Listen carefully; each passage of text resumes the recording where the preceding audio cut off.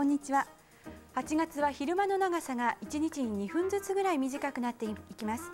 しかし光の季節が秋に向かっていてもまだ気分と気温の夏は続いています。今日は北と南ずいぶん気温が違っていますので11時の気温の状況からご覧いただきます。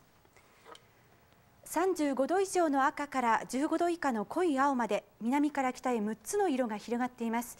根室市の野サップでは12度6分長袖でも寒いぐらいです。この気温の低い地域は曇りや雨の地域です。現在の雨の状況です。東北地方北部を中心に山沿いで強い雨が降っています。10ミリから28ミリ。岩手県の駒ヶ岳では24時間の雨量が100ミリを超えました。では9時の天気図です。北海道にかかっている前線が雨を降らせています。この前線はこの後も北日本に停滞する見込みで東北から北海道にかけては曇りや雨の日が続きそうです。しかしまだまだ東日本と西日本は太平洋高気圧の勢力の中に入っています。明日朝の予想天気図を見てもほとんど変わりません。